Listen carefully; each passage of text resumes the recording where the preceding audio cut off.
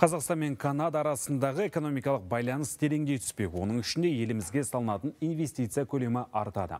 Торонтода өткен алғашқы Қазақстан-Канада тау-кен форумның нәтижесі жайлы Жалғас Сәдібекұлының репортажы.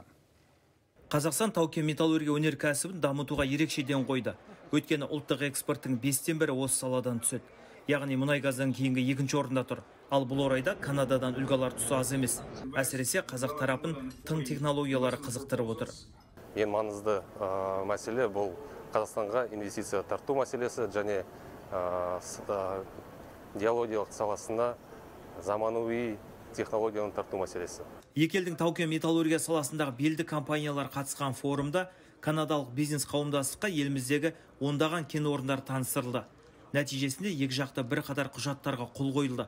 Оның ішінде канадалық First Quantum компаниясы Қазақмыс корпорациясымен бірлесіп, Қазақстанда геологиялық барлау жүргізуге келіссе, Bureau Veritas компаниясы халықаралық геохимиялық зертхана құратын болды.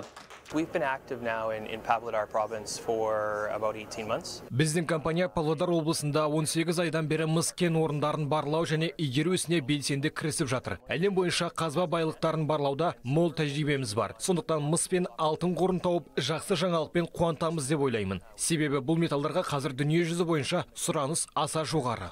Канада үшін Қазақстан Орта Азиядағы негізгі серіктес. Былтыр екі жақты тауар айналымы 70 пайызға өсіп, 840 миллион долларға жуықтады. Ал Канададан тікелей тартылған инвестиция 2,7 миллиард доллар шамасында. Бүгінде металлургиядан бөлек энергетика, ауыл шаруашылығы, машина жасау салаларында 11 ірі бірлескен жоба іске асып жатыр. Жалғас Сәдібекұлы, Торонто, Канада.